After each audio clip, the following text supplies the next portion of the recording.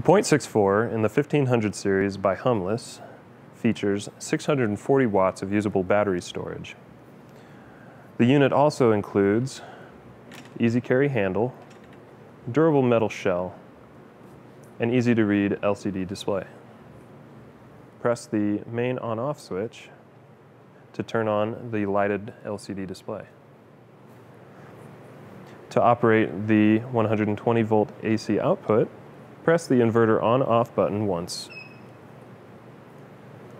To charge the .64, we have a 120 volt AC input for charging from your standard home outlet. Also, 12 to 50 volt DC ports for charging from Humless solar panels.